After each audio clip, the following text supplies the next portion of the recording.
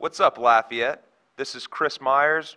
We have a lot of exciting festivals and events coming your way. and We're going to bring you updates with information on all of those. Starting with just a few highlights we want to let you know about. First off, Rhythms on the River will start this year's new fall lineup on September 27th with LaRue with Strange Theories opening the show. Guys, this is an incredible event. Rhythms on the River will be every Thursday evening with bands from the Acadiana area starting around 5:30 p.m. and wrapping up at 8:30 p.m. Now, area musicians will perform under the center's under the town center's gazebo while residents and visitors dance and enjoy available food and beverage concessions.